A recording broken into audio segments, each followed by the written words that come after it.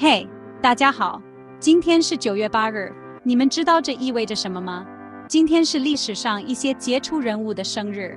我们今天要讲的人物里有皇帝、音乐家、政治家，甚至还有一两位喜剧演员。这些出生在这一天的人物，都以自己独特的方式在世界上留下了印记。所以，让我们戴上思考帽，或者生日帽也行，哈，一起深入了解这些九月八日出生的非凡人物的生活吧。我们的旅程从八世纪的中国开始。这一天，唐玄宗诞生了。唐玄宗生于公元六八五年，在位四十四年。开创了唐朝的黄金时代。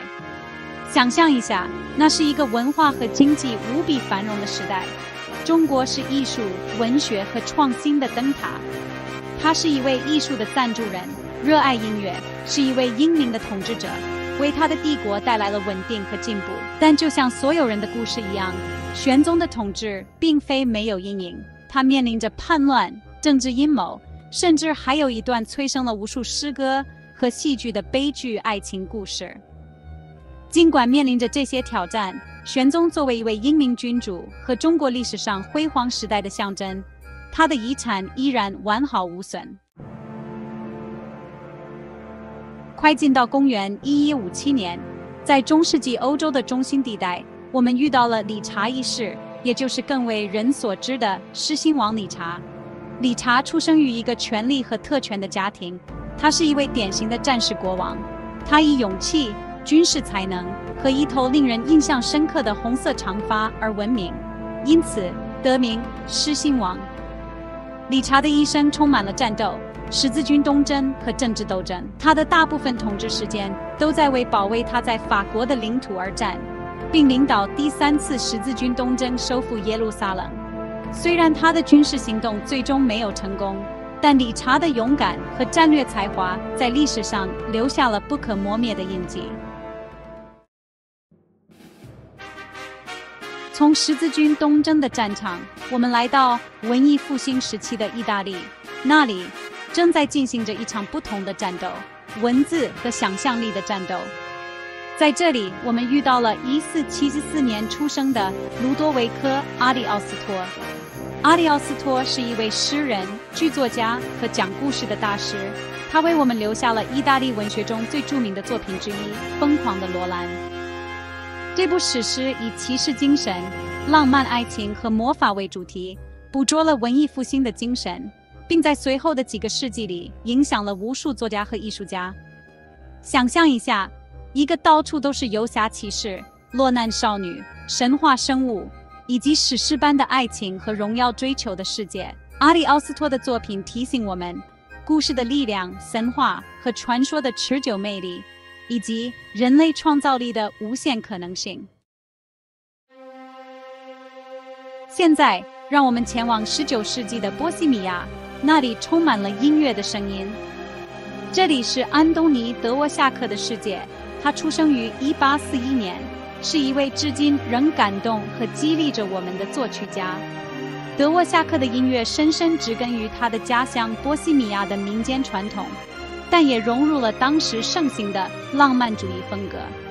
从他气势磅礴的交响乐到 poignant 的室内乐，德沃夏克的作品以其丰富的旋律、充满活力的节奏和情感深度为特色。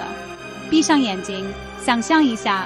他那首受其在美国期间启发而创作的《新世界交响曲》的优美旋律，或者是他那首斯拉夫舞曲的《Haunting》之美。德沃夏克的音乐超越了时间和空间，用人类情感的通用语言与我们对话。我们的旅程接下来将前往19世纪的亚洲，在那里我们会遇到1846年出生的遮打爵士。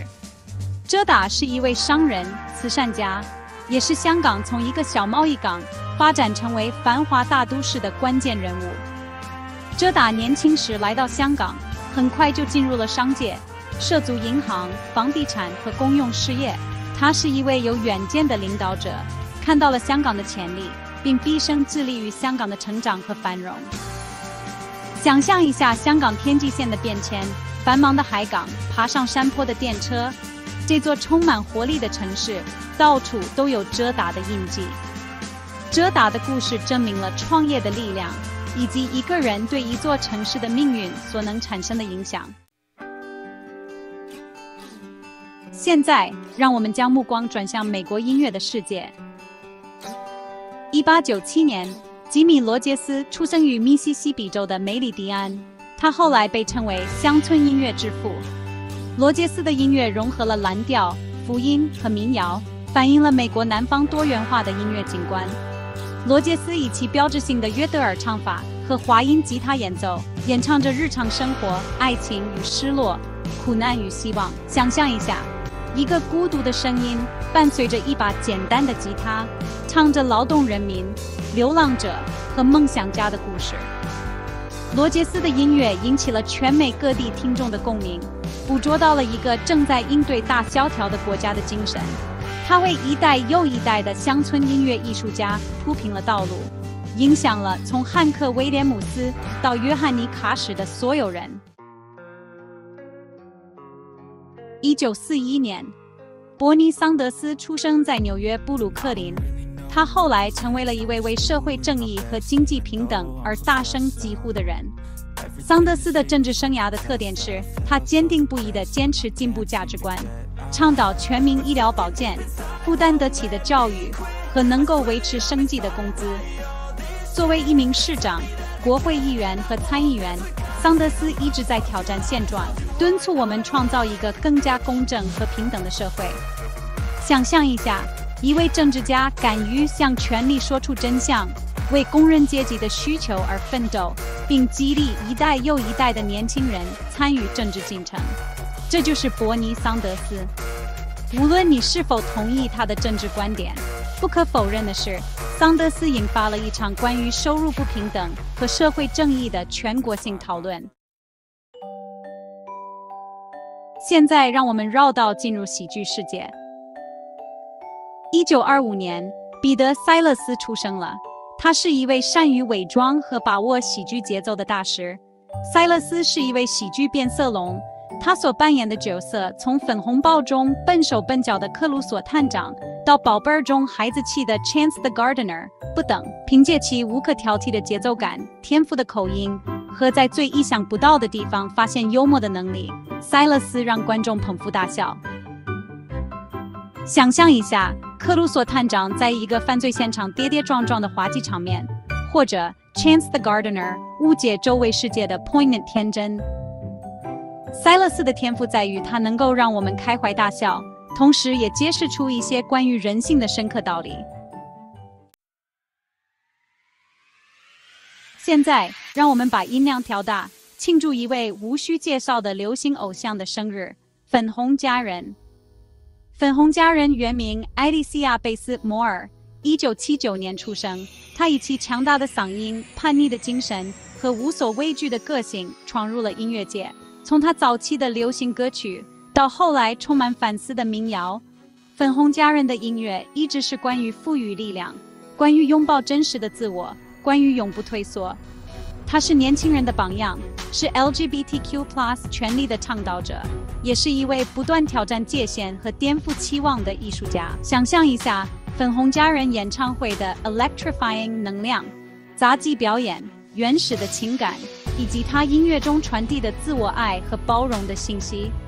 粉红佳人教会我们要对自己感到自在，要为我们所相信的东西而奋斗，并且永远不要害怕做自己。